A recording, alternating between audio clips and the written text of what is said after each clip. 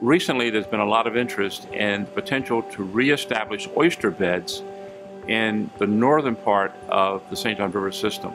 So Quint told me that he was uh, doing a research project um, looking at the growth of oyster beds.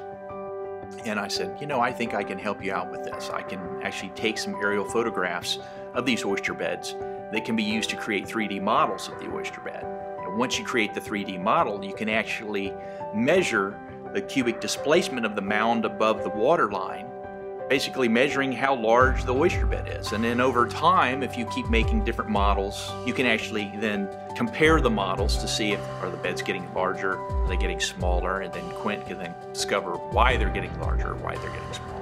This particular project allows for students to have a real world problem and have um, a real world application uh, so that they're able to go out in the field, look at the environment and the ecosystem, look at what they're actually mapping, bring those data back into the lab and create maps uh, that then can be used and shared among the rest of um, the collaborators uh, of the project.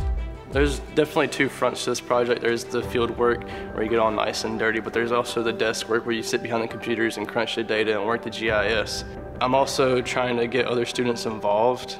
I'm sure we'll expand to other creeks and other areas of Duval and maybe even other counties. They're going to find that this project will ask more questions perhaps than it answers, but will open more doors than it closes, and who knows where it will actually lead.